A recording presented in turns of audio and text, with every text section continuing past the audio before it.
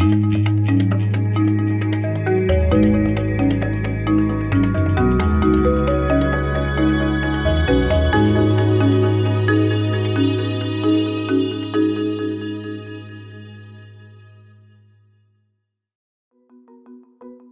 many U.S. classrooms, students enter high school several years behind grade level. Once they've fallen behind, students are at a greater risk of dropping out of school, which research shows can affect their earning potential, health, and risk of criminal behavior.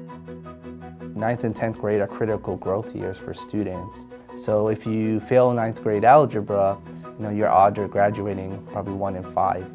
So Saga, we address this core problem in education by embedding tutoring in the school day as its own class, as a graded course for students.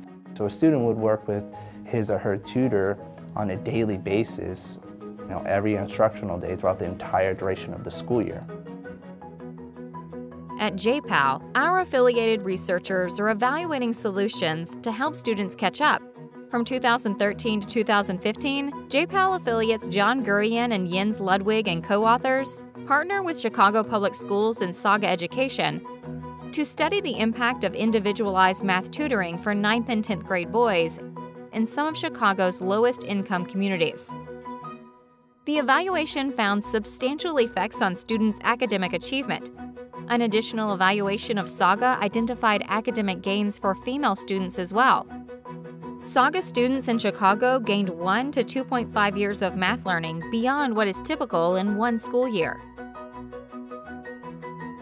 Saga has collaborated with departments of education in Chicago and New York City to expand its individualized tutoring program to serve 2,500 students.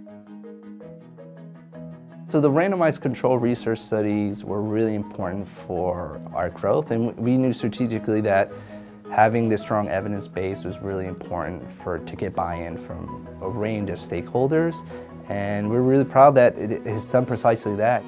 That's what's really powerful about partnering with a research partner is that it opens the door to innovation.